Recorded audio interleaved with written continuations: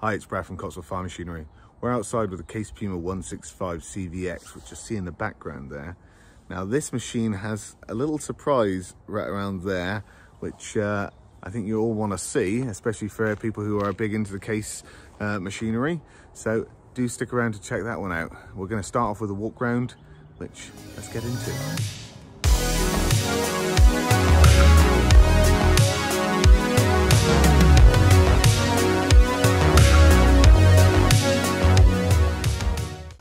So starting off at the front of the machine, let's go around to the front linkage, three point linkage with forward controls. As you'll see there, we have the normal lights, but with the daytime running lights, as you can not see right now because it's not currently turned on. It's a very good looking machine. 209 horsepower, that's including boost. I think it's a, I believe it's about 180 uh, without boost.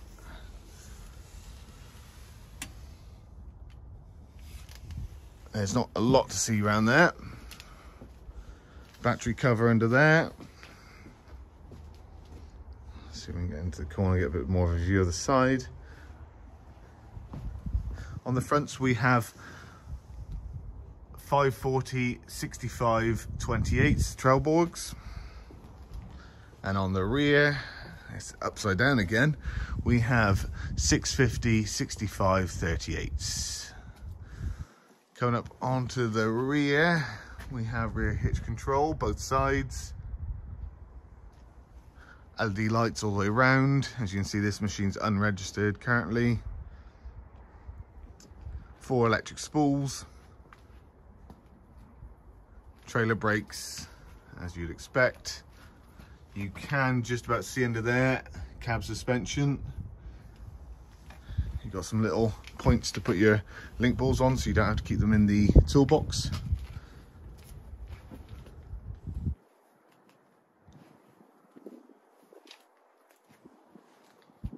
There's the hitch controls again.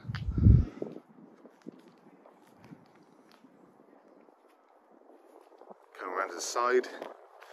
New style aluminium steps. AdBlue and diesel. Toolbox. And again, you can see the LED lights all the way around. Coming up into the cab, let's get a good view. As you can see, it's a nice, large, comfy operator's area. Plenty of space. New storage box, which is air conditioned, and the new steering wheel. And you'll see over there the new baler bar, which has a couple of USBs on the back of it as well for charging. For most of you who have operated a case before, this will look fairly similar. But we have something a little new, which we'll get into in about two minutes. So stick around for that. Coming down here, you got your main control panel. Most of that is self-explanatory for anyone who does a lot of operating of tractors. Four spools. The joystick with a, a linear uh, positional speed control which is just on there. So if you had that set to 53k, that would be doing 53k. That would be doing zero. That would be doing somewhere in the middle. Uh, coming around onto the little joystick here, which does actually have a forward and backward now. Uh, it's hard to see, truth be told, whilst I'm doing this. But there is actually a little forward and backward, so you do not have to take your hands off the joystick when trying to operate the front hydraulics anymore. Going onto the side here, you'll see the PTO speeds 1000, 540E and 540. Steering control, um, and up onto the side there, the other battery isolator switch, which one was outside, you might have seen it in previous clip. Trailer brake test. The new baler bar, a ram mount, the USBs, electronic controls, air conditioning, lights, As you can see, it's got a very large and comfy instructor's seat. And we do actually have heated seats on the main driver's seat.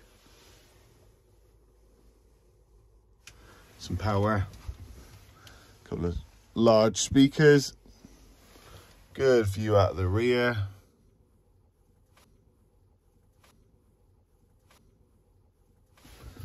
New steering wheel looks very nice, really well stitched, very solid and a bit thicker if you like that sort of steering wheel. If I bring this down a little bit, you can see into the new box, which has an air conditioning shut off there, which allows you to keep your food cool in the summer.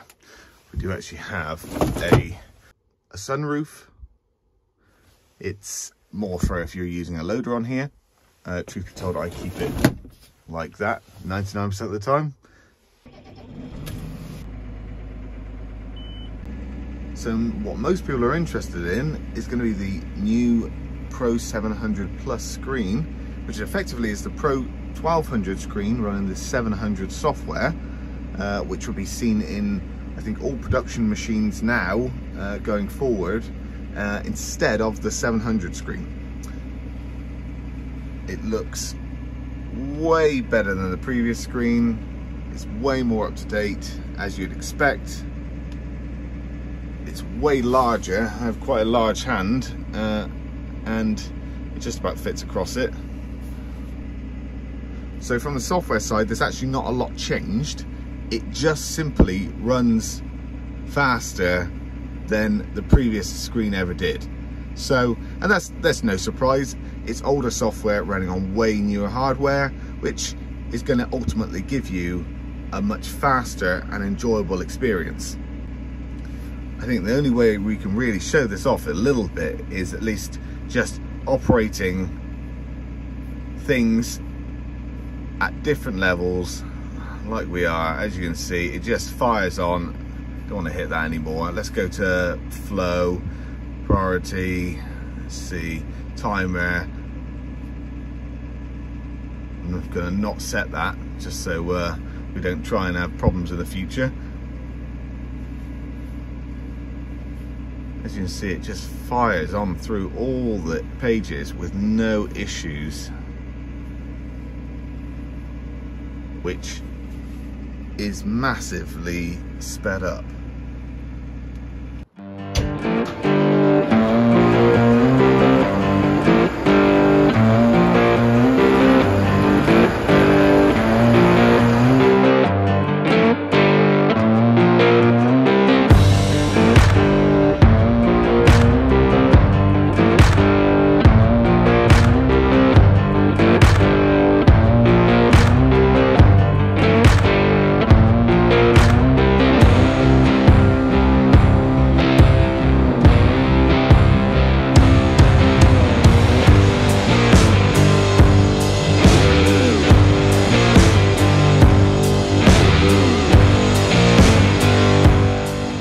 like that video, follow us or subscribe.